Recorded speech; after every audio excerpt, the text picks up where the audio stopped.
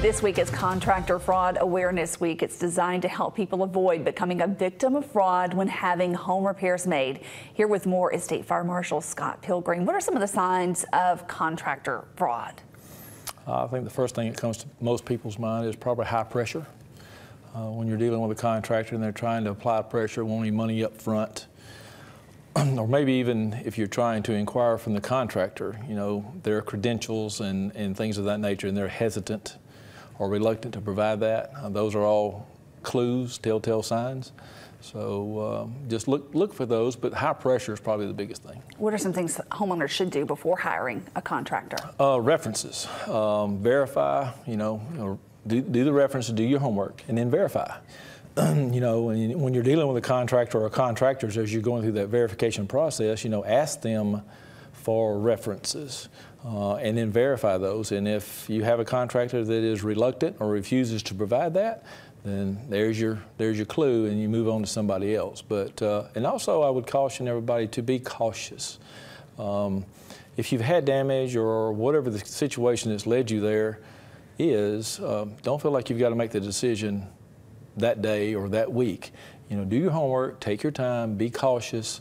Again, these people that you're hiring are working for you and you want them to do the job that you've hired them for. If somebody's trying to rush you up front to, to pay them or go ahead and, and, and sign this deal with them, that's a red flag. That's a big red flag.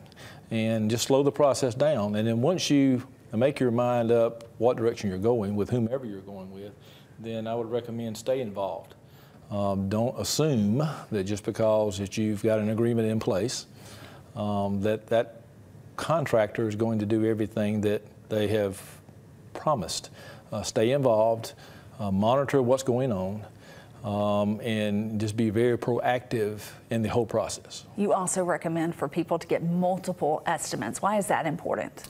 Well, again, um, if you can't go with the first estimate, that first estimate could be the bad one. It could be the one who is going to try to, you know, take your money and all that. So get multiple estimates and, and find the, the contractor that's going to provide the service that you're seeking um, at, the, at the best rate that you can get. Um, and just, again, cautious, caution, take your time, do your homework. If someone feels like they have been scammed, what should they do? Uh, well, first of all, I would contact, um, you know, contact the, the, authorities. One of the authorities could be the, the Department of Insurance. Um, contact your insurance agent. Um, if you think you have been uh, the victim of a fraud, you can contact my office, the State Fire Marshal's office, um, and we can direct you to some of our people who handle that and, and walk you th walk through the process to see exactly what has occurred, if anything, and give you some guidance there. And while you're here, we know it's the big Memorial Day weekend. A lot of folks are getting ready to fire up that grill.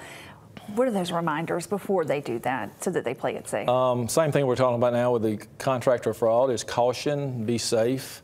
Um, I told, you know, I, I, did a segment before I walked in here. Um, use the grill, the appliance, whatever it is that you're using this weekend as it's designed to be used. Make sure that you're using, if you're using charcoal, you're using charcoal starter, not something else like gasoline. That happens. Make sure that if you're using LP, that your equipment is proper and you don't have any problems there. But biggest thing is good common sense and take your time. And when you have those kids around, watch for those yes, little hands. plenty of distance, plenty of distance from buildings, structures, kids. Thank you so much for joining us. We hope you have a good holiday weekend.